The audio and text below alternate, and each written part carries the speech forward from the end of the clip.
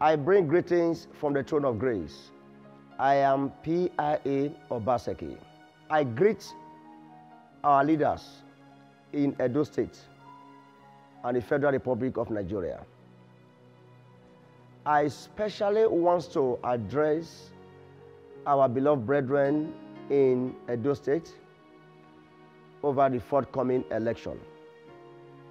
God is interested in politics. God is interested in the election.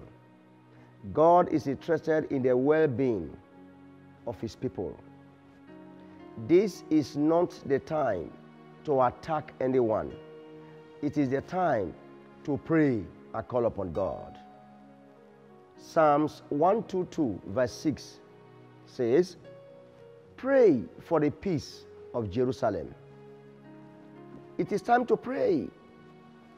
It's not the time to uh, attack those who are in the political race. They are our brothers and sisters. We all are one. The Bible says in 1 John chapter 4 verse 7, Beloved, let us love one another. For love is of God. And he that loveth not knoweth not God. But he that loveth knoweth God. I want to address every one of us. My beloved, instead of attacking each other, fighting each other, let us love one another. Let us pray that God perfect his will in Edo State.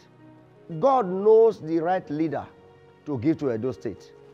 Let us look unto God than contending and attacking each other. After the election, what comes next? We are still coming together.